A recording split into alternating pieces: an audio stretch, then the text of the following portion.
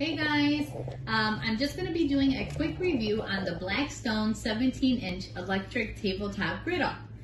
Um, I think it's going to come in handy because we actually have four sons, so they eat us out of the house, and we wanted something that was able to be compact and we were able to use it in the home. And this is a great way to do it.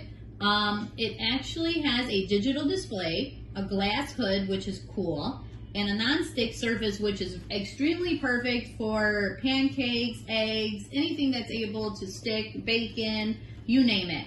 Um, it comes back. It comes with a one-year warranty as well.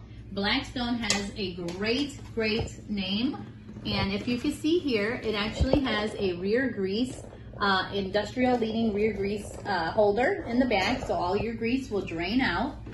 And also here we have a Blackstone four-piece professional breakfast kit. So that comes with the pancake mixer um, maker for the kids, or the, you know, kids can do it, moms, dads, whatever.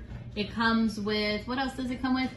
The presser for the meat, you know, where you can press down on the meat and stuff. And it comes with two egg holders, which I think is excellent because you can do like your homemade McDonald's, uh, what is it, Mc, uh, McMuffins.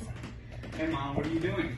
Uh, I'm just gonna try out my new Blackstone griddle.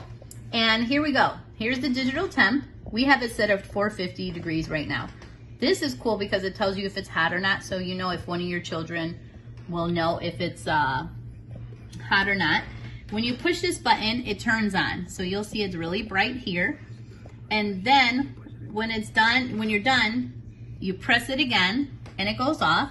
Here is the zone temp, which I think this is a really cool area because this will tell you your zone temp. So right now we are good to go and we are just gonna put the uh, chicken on, but before that we wanna show you the glass top. Here is the glass top. It's a really pretty finish of orange and black. And it's this is the E-Series by Blackstone, okay? And we are using, I know